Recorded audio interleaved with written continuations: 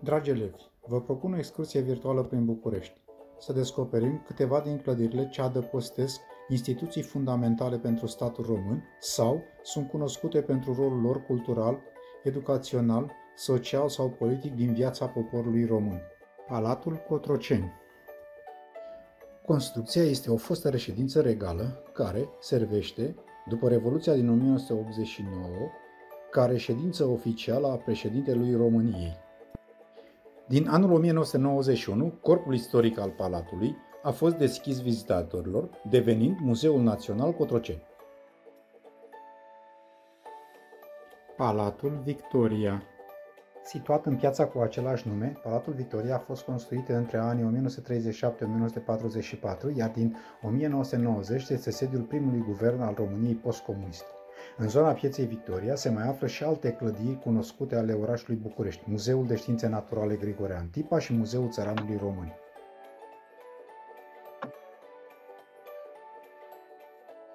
Palatul Parlamentului Cunoscută înainte de Revoluția din 1989 sub numele de Casa Republicii sau Casa Poporului, clădirea Palatului Parlamentului adăpostește astăzi cele două camere ale Parlamentului României Democratice, Senatul și Camera Deputaților. Este clasificată de World Records Academy a doua cea mai mare clădire administrativă pentru uși civil ca suprafață din lume. În alta Curte de Casație și Justiție din România este cea mai înaltă instanță în ierarhia instanțelor judecătorești din țara noastră. Aceasta are competențe în a judeca recursul în interesul legii și de a asigura interpretarea și aplicarea unitară a legii de către toate instanțele judecătorești din România. Academia Română Este cel mai înalt for de cultură și de știință din România.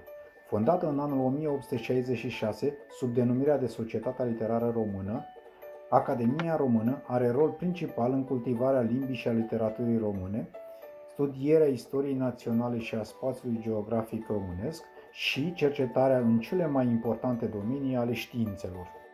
Universitatea din București este una dintre cele mai prestigioase instituții de învățământ superior din România. Fondată în anul 1864, cuprinde 19 facultăți cu numeroase programe de studii universitare.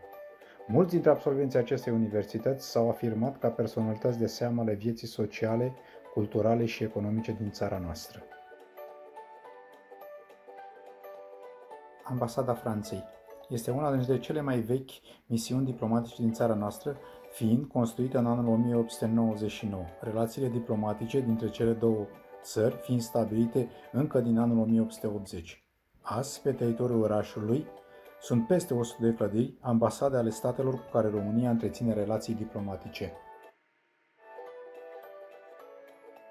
Ca momente de reflexie, vă propun să precizați rolul orașului București în cadrul statului român și